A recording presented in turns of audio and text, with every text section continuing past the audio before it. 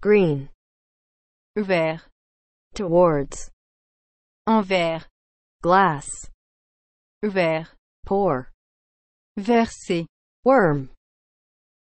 ver de terre, A green worm pours a glass towards a glassmaker around 20 o'clock.